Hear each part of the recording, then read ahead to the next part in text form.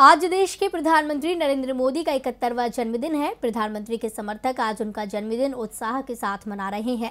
राष्ट्रपति कई राज्यों के मुख्यमंत्री और केंद्र और राज्यों के मंत्रियों से लेकर विपक्षी दलों के नेता और आम लोगों ने भी पीएम को उनके जन्मदिन पर बधाई दी है।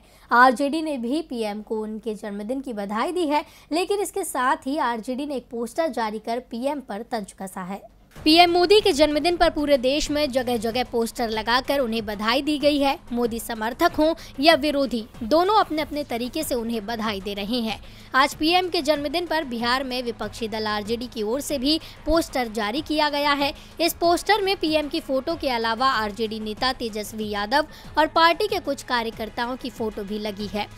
पोस्टर में पीएम को महँगाई, निजीकरण और बेरोजगारी जैसे मुद्दों को लेकर घेरने की कोशिश की गई है। पोस्टर में लिखा है कि मोदी जी आपकी उम्र हुई इकहत्तर साल, देश की जनता का हुआ बुरा हाल। भाषणों में आप कहते थे कि देश नहीं बिकने देंगे, लेकिन आज रेल बिक गया, बीएसएनएल बिक गया, लाल किला बिक गया, एयरपोर्ट बिक गया, हवाई जहाज़ बिक गया, ओएनजीसी बिक गया, एलआईसी बिक गया। आपके वादे का क्या हुआ? अब क्या जनता से आप पकौड़े बिकवाना चाहते हो? आरजेडी ने पीएम से सवाल किया कि देश की संपत्तियों को बेचना कौन सा राष्ट्रवाद है?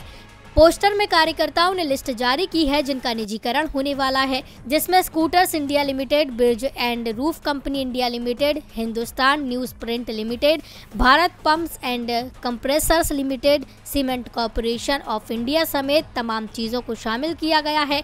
आरजेडी ने एक पोस्टर में एक सेल लगाई हुई है, जिसमें ठेले पर सभी चीज़ें रखी हुई हैं और मोदी जी मज़े में इन्हें बेच रहे हैं।